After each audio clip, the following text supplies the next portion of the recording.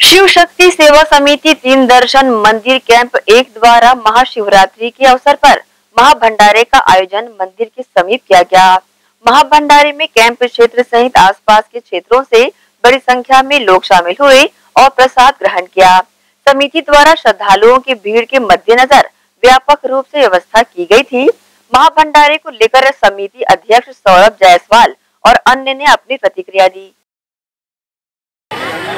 बहुत ही उत्साहपूर्वक जैसा कि कैंप वन तीन दर्शन मंदिर, श्री संतोषी मंदिर में पिछले वर्ष की बात ही इस वर्ष भी बहुत ही सम्मानजनक बाबा भोलेनाथ की बारात निकाले हैं। सभी हमारे भाई बंधुओं, हमारे कैंप वन साथियों से इनका बहुत ही उत्साह देखने को मिला है और बाबा से आशा करते हैं कि हम पर भी भरोसा जताएँ और आने वाले समय पे बाबा से प्रार्थना है कि इस बारात को पूरे भिलाई में बहुत ही शांत की तरह करना चाहते हैं। जय बोले जय बोले।